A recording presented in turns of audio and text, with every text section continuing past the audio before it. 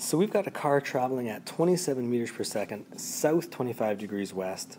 It's going to speed up around a corner. Uh, it's going to end up traveling at a different, different velocity, I guess, and it takes seven, seven seconds. We're going to look for its average acceleration.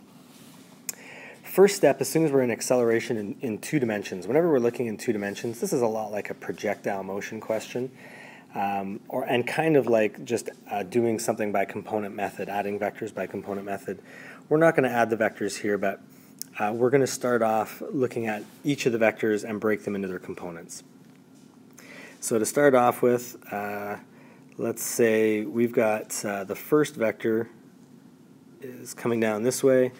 Uh, if it was, if this is a straight south line, this is 25 degrees and uh, 27 meters per second. That's a 25 degrees in there. If this is the first vector, um, then we're going to break it into its components. We're going to have a y component there and an x component here. So this would be uh, v1y, v1x. And to solve for those things, um, we can just find those. We can say v1x. You can do y or x first, it doesn't matter.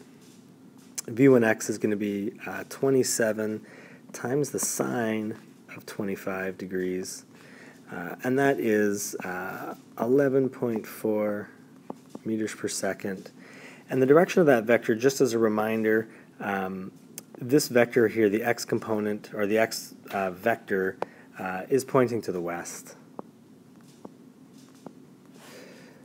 The y component, similarly, uh, is just going to be 27 times the cosine of 25 degrees.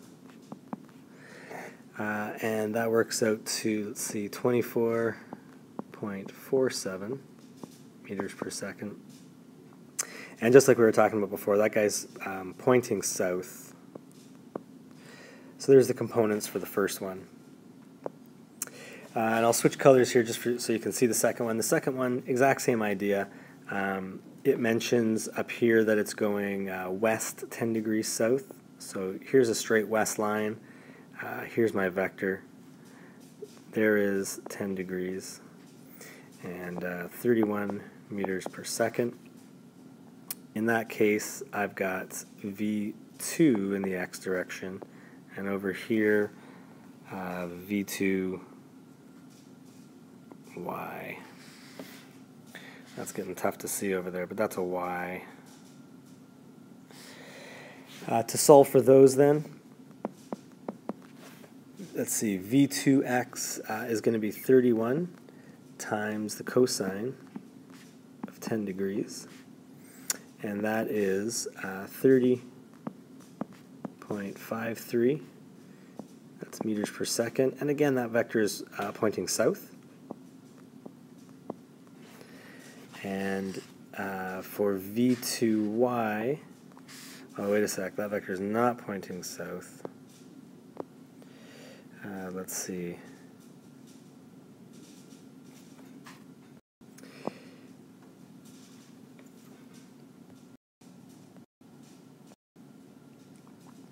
All right, so now that we've got our components, uh, this is going to look um, kind of like a projectile motion question.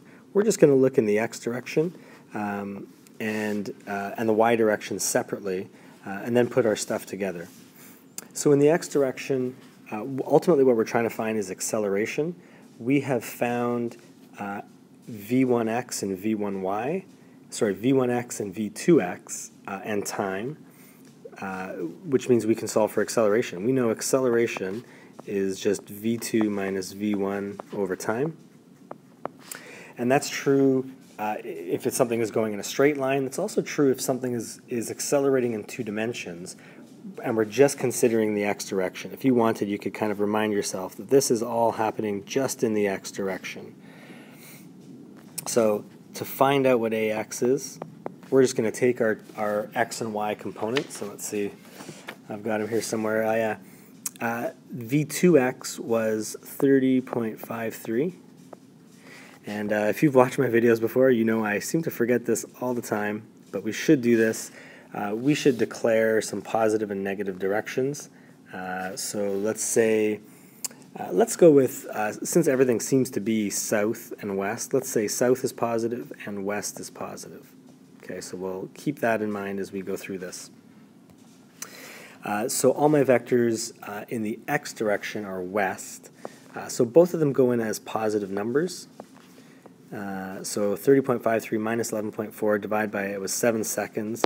And just a reminder, this minus sign that's right here, that is not part of the vector. Okay, that minus sign is part of the formula.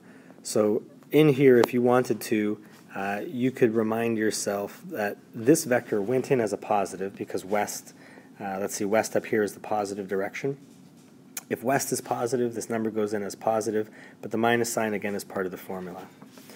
Uh, when we solve for that then, our acceleration in the x direction, 2.733 meters per second squared, and that is in our positive direction, which is west, and uh, I'll put a little box around that thing so we can find it again, uh, but we're not done yet, just a reminder. That's only the acceleration in the x direction. And I'll come over here and we'll do the exact same thing in the y direction. We're going to solve for acceleration in the y direction. That is v2y minus v1y over time. And again, we're just subbing our numbers in. We said south was positive. Uh, both of our numbers are south, so they're going to go in as positive numbers. And again, that minus sign, part of the formula, not associated with the number we find acceleration in the y direction is uh, negative 2.727 meters per second squared. And remember, every time our number gets spit out here, uh, it's in the positive direction, so the positive south direction over here. Uh, I don't like those negative answers, so I'm going to say it is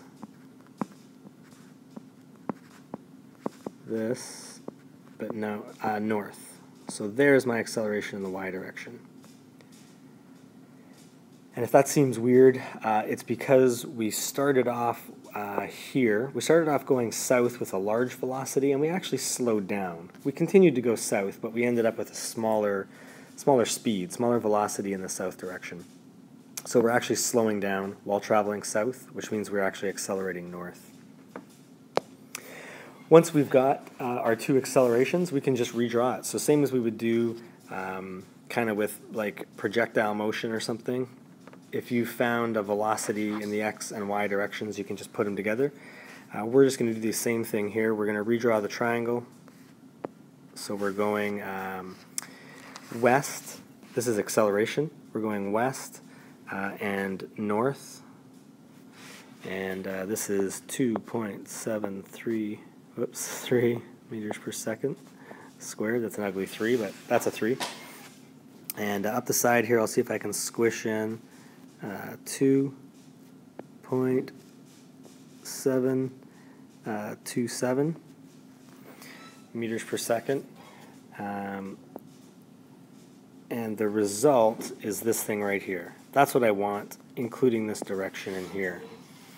So when I solve for that acceleration, it's just using Pythagoras, same as we've done before when adding vectors.